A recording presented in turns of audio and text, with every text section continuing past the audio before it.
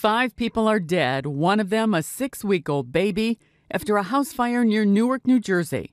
Officials say strong winds pushed a fire through a single family home in East Orange, New Jersey on Sunday morning. The sky was lit up with like ambers all over the place. It was literally coming close into my kitchen. I can smell it. That's how strong it was.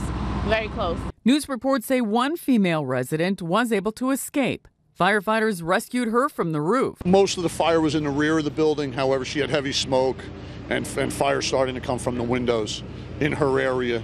Uh, but, you know, fortunately, they were able to get to her. Did it seem like that was her only way out at this point? Yes. The cause of the fire is under investigation.